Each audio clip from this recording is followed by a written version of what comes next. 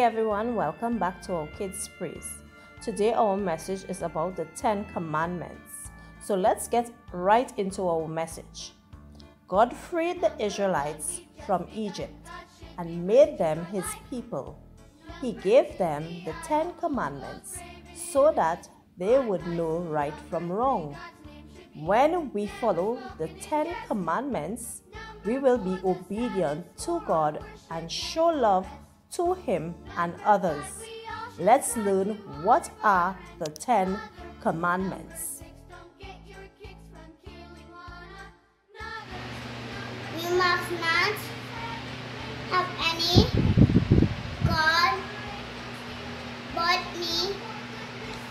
This means that we must put God first in everything, loving Him more than anything else. You must not make any idols to worship. We should not make anything more important than Him. We must worship God only. Even though school or work may take up a lot of time, we must always remember to make time for our great God. You shall not misuse the name of the Lord. We must always say God's name with love and respect and not for any bad other reasons. Remember the Sabbath day and keep it holy. When God was finished creating the world and saw that everything was good, he rested on the seventh day. God didn't rest because he was tired. He set an example for us because rest is important. There is no specific day that is set, but what matters is that we take some time to relax, reflect, and remember God. Honor your father and your mother. Honor also means respect, love, obey, and caring for your parents. When we do this, God promises us that we will have a long life. You shall not kill. We should value each human life just as God does and should not hate or harm anyone. You shall not commit adultery. Now, this one is for a man and woman who are married. But even though you are a child, you can still learn the importance of it. When a couple gets married, they make vows or promises before God, and adultery is when they break those promises. This one is very easy to understand.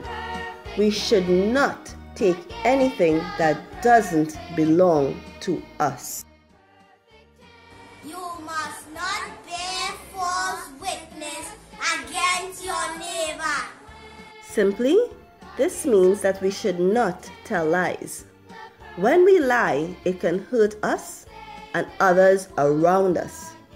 So we must always tell the truth. You should not covet. To covet means to want something that someone has or to be jealous of their belongings. We must be happy with what God has blessed us with and not long for what we see others with. Hi everyone, I'm going to make a bookmark with the Ten Commandments. These are the supplies that I would be using. Streamer for decoration, a ruler, scissors, like